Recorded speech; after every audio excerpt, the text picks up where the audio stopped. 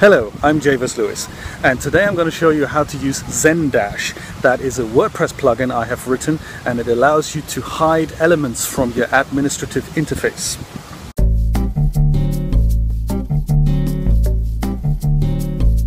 Today I'd like to introduce you to Zen Dash.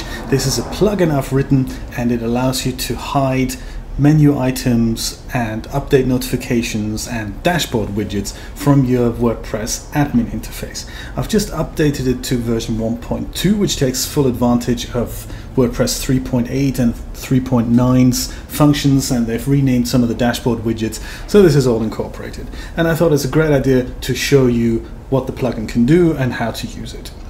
So as I said it's for the admin interface. I'm going in the back end here and if you install the plugin, you do that under plugins, add new, and it's currently hosted on the WordPress repository, so it's easy enough to just use the big search field here and type in Zen Dash, and then you search, and up comes Zen Dash. I already have it installed. You'd have an install button here that you just click and then you just activate the plugin and it comes up on the dashboard Zen Dash. Easy enough. And if you navigate there, I'm explaining quickly how this works. You've got four sections here, well, five really. This is the How It Works section, comes up by default. And then you've got these four sections here which correspond to certain areas of the admin interface. The first one is dashboard widgets. If you go there, all four are enabled. In previous versions, those were as many as eight, but as of WordPress 3.7, the team have cleaned up the dashboard a lot, so there's only four that you can now disable. And these are the titles. And to show you the effect, I'll go and head over to dashboard home. Those are the four widgets that are enabled by default.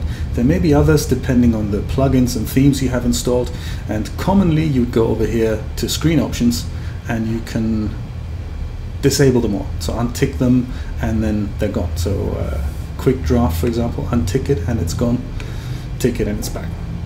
But sometimes you don't want clients to see any of these things and you want them to completely disappear and make sure clients can't really bring them back.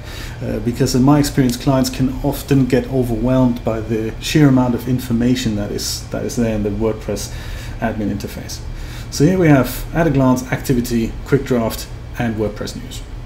And if you want to hide any of them, you head over to Zen Dash, dashboard widgets, and any of the ones you don't want to see, for example, WordPress news or perhaps activity, you can switch off, click Save Changes, and then head over again to your dashboard, and they're all gone.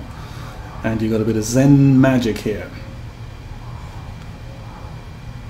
Let's see what else we can do. Those were the dashboard widgets. Let's go to the menu items. Those are a lot.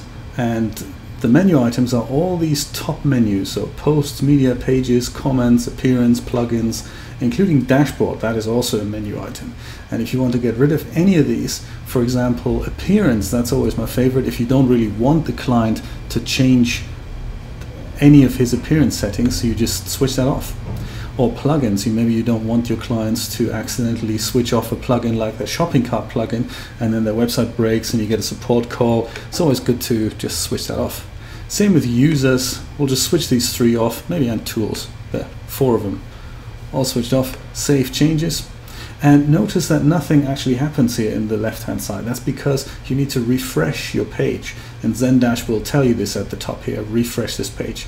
You can either just conveniently click this link or just refresh your web browser with a little reload the current page option. I'm just going to click this here, refresh this page, and then the entire page loads and all those options are gone. Very exciting, huh?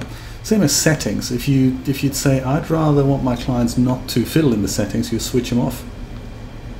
Or pages once set up, maybe they don't need access to them. So posts, media, and dashboard is perhaps all they need.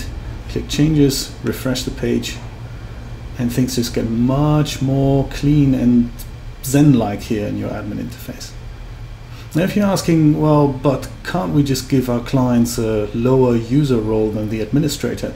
that would reduce the options in the in the menu. I'm thinking, yeah, you can, but sometimes they still need admin functionality for certain aspects of their website.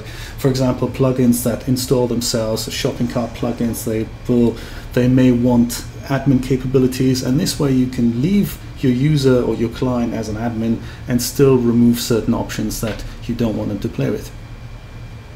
You can of course bring them all back. And if you uninstall the plugin and remove it from your website then all these options will be deleted and everything comes back. So I'm going to bring all the menu options back. There we go. Perfect Next up, update notifications. These are good to hide if you would like to be in charge of updates. It's a good idea for standalone power users to do the updates, but if you look after a site on behalf of a client, then you may not want the client to see update notifications. And Zen Dash makes that really easy to hide them in a very granular fashion. So you can hide the WordPress core update notifications, notifications for theme updates, and notifications for plugin updates, all separately. Let me show you how that works. So under dashboard updates, I currently have two components that could do with an update. One of them is a plugin, Jetpack, has a new version out, and another one is a theme, P2 theme. If I'd like to hide just the plugin update notifications, I head over back to Zen Dash, update notifications, and on the bottom here, plugin update alerts, switch it off. Save the changes, and notice again we still have a little number two here, that's because we need to refresh the page, and out of a sudden we only have a number one. Cool, we can still go into updates, but I'll get the message my plugins are all up to date. Is that cool or what? Let's do the same for themes. So hide this theme notification and maybe bring the plugin notification back just to prove a point. Head over to Zen Dash, update notifications, theme update alerts, switch them off, plugin update alerts, switch them on. Hit save, head over back to dashboard updates, which will refresh the page for you by the way. And now we have the plugin notification back but the theme update notification tells me everything is up to date. So the last option I want to show you are the footer links. Footers in the admin footer, that's this little section here. Thank you for creating with WordPress. Change Zen Dash options, that's something that I've added, and the WordPress version number. And you can turn all these three options off independently from each other. So the WordPress attribution, let's do that, switch it off, save changes, and you no longer have the thank you for creating with WordPress option here. Likewise, the Zen Dash options link, if you really don't want to get there, I'll show you why I've actually done that. And that's also gone. And same with the WordPress version here. I suppose you get the picture, switch it off, save changes, and now you've got nothing. All Zen, all very good. And obviously that's not just on, on this page here, it's on, it's on every page. So I'll go to the post page, there's nothing here anymore. Go to the tools page. There's nothing there at the bottom. So it really cleans things out. Speaking of that footer link, why did I put that there? Well, there is a possibility that you may want, I don't know, let me just switch them all on again.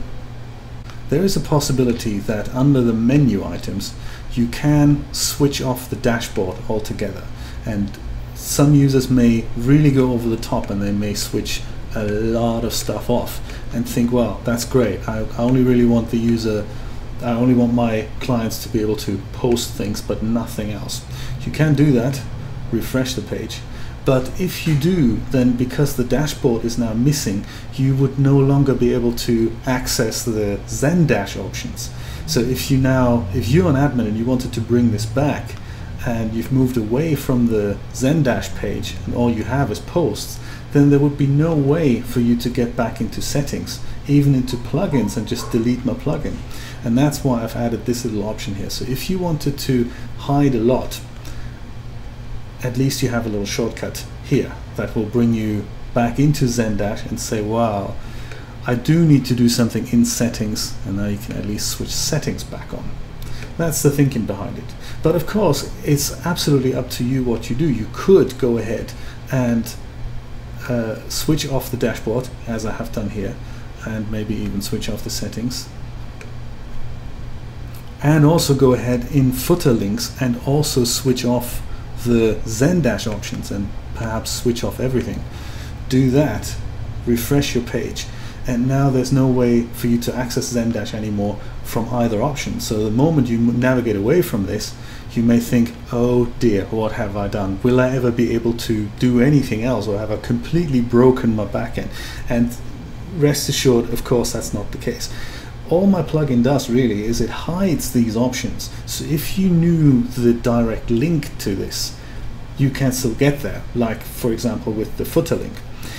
So I have on the WordPress repository under the frequently asked questions here, I have posted a couple of ways uh, how to bring that back. Well, one way to bring that back.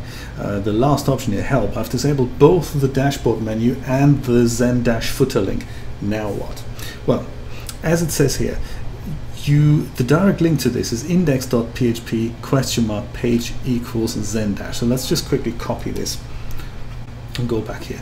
If you're faced with this and you think, oh dear, I really need to bring something back, uh, or disable Zen Dash or disable a plugin or whatever, as long as you're in the back end, that's cool. You head over here on your on your website. So go go and visit the website, which brings you to the front page. Hover over that link again, which then will get you into the dashboard. That's good. So at least you're in the dashboard, and this is where you need to be. Notice this URL here at the top. This will be yourdomain.com, uh, perhaps a subdirectory that you have, and then it'll follow wp-admin. In here, at the back of that, just paste what I've just said. So index.php question mark page equals Zen Dash. And if you do that and hit return, then you get back to Zen Dash options and you can bring everything back. For example, the dashboard menu item or the footer link. And now you're back in business. Okay, I hope this was useful. If you have any questions or comments, and you can leave a comment on uh, this video or on the release post for Zen Dash. If you have any suggestions or if you want to contribute, please contact me. And don't forget to subscribe to my channel for new updates and more funky, exciting plugins. See you next time.